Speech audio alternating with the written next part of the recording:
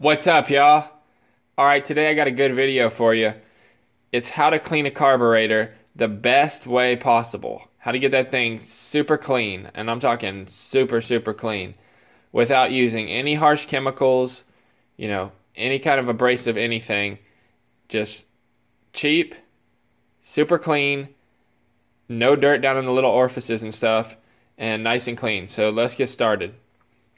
Alright, so you can see in front of me if you don't know what this is already, this is an ultrasonic cleaner. And you can pick these up real cheap from Harbor Freight. I think this one was like 60 bucks after the coupon or whatever. But um, these things clean stuff extremely well. They're primarily used for jewelry, but they vibrate. You know, little parts and stuff is ultrasonic, so it vibrates the part and vibrates the dirt out and off of the part. So they're great for cleaning carbs because they have all those tiny little holes down in there. And if y'all want to see where to get one, check the links in the description. I'll put one in there. And if y'all don't have a Harbor Freight near you, where you can look in the description and order you one if you like the way it performs, because I sure do, because it works well to clean all this stuff. So, the old school way of doing it is a bucket of carb cleaner. I don't have any here because I don't use that nasty stuff.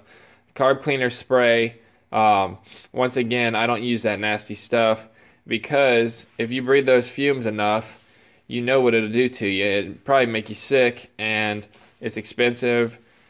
We don't need to use any of that stuff anymore. What we can use is water. All you do is put straight water in here. Now I know a lot of guys can put like simple green or something like that in there or maybe a little bit of soap, you know, whatever. But um I like to use just straight water and then blast out whatever's left with compressed air. So in order to do this, you're going to have to take your carb completely apart. And this is a carb off of a Poulan chainsaw. Now, I'm going to give you a word of warning here. A lot of plastics are not compatible with ultrasonic cleaners because some of that stuff is ultrasonically welded where they butt it up and it's welded together and it can damage plastic and I'm sure it can damage rubber too. So you got to strip all that stuff off before you put it in the ultrasonic cleaner. Now, I'm sure there's types of plastic that are resistant to that stuff, but it's a carburetor and it's a metal body, so we're going to strip all that stuff off of there and throw the thing up in there. What we're going to do is we're going to turn this thing on 480 and it has a time limit. Oh, there you go. 480. You can set it here 90 I like I said on 480. You can turn the heat on or off. I would not recommend putting heat on this thing because it's a, a carb. You don't want it to warp. This thing can get pretty hot. Um, you just pull it up. See, it's just got a screen here, right here, and you put your part on it.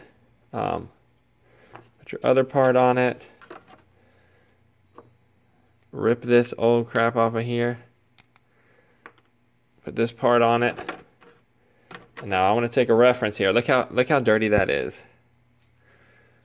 Look how dirty that thing is. Come on. Alright, that thing's going to be pretty clean when we take it out. So put it in. Make sure it doesn't touch any of the metal around it. And just turn it on. And it's going to sound crazy, but... Oh, we, uh, we forgot the high speed jet and the low speed. I'm not even putting those in there. Those aren't even dirty.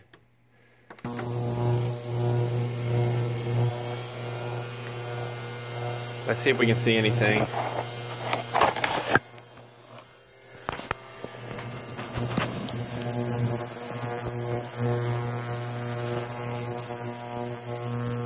Sometimes you can see the stuff just melting off of it, but that is probably extremely annoying. Yeah, you don't see anything coming off of that one. But we're going to let that thing sit and I'm to check back in with y'all once this thing is done and we're to see how clean it is. Alright, let's see what we got.